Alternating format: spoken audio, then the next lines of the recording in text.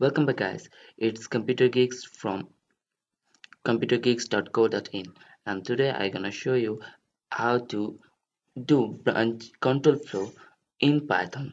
So to do it, we can do it in different ways. So let's start with opening the by opening the IDLE.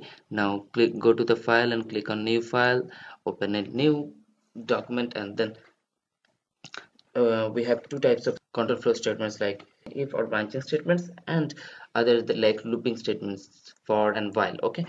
Uh, in python if statements are used for the for branching so if condition then condition and then colon. Now in the block or in one tab you can type in like a condition uh, a true statement and then else in colon again type in the false statements okay? This pretty much same like any other programming language. So let's start by writing code real code.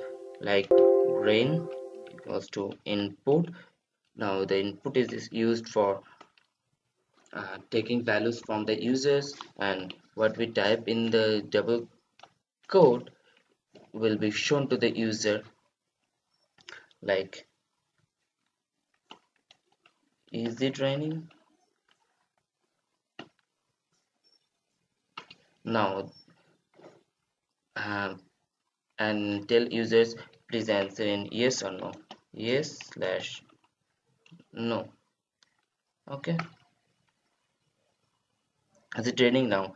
Check if rain equals to equals to equals to equal to use for checking it is equal or not. Uh, it is the not equals to uh, exclamation is used for not. It is greater than greater than symbol is used for checking. The rain value is greater than something or less than we can use less than equals to or greater than equals to. Okay so if rain equals to equals to yes then print take umbrella. Sorry if I have done any mistakes. Else print. It is safe. It is safe outside okay and then just save it and run it. Save in any folder. Let's say I am saving it in the documents dot one. Now click on run click on run module and it is saying it, it is raining or not. Type in yes. It is says take umbrella. Go back to the previous program again run it again. Say no. And it is safe outside it is not saying anything. Now we don't know. User will send uh, give us give us the um, the input we required.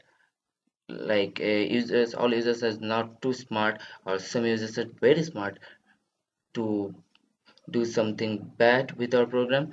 So let's try it.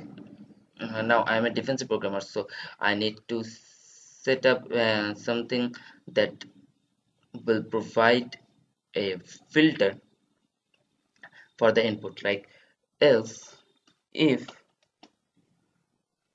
rain equals to equals to no then do printf it is safe outside okay? Else show them wrong output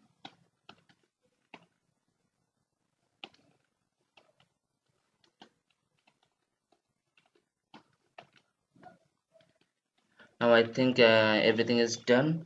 Let's run it again. If it is it raining okay it is safe outside. Run it again. It is raining. Okay. Wrong output. I mean uh, I done something wrong wrong. Input okay.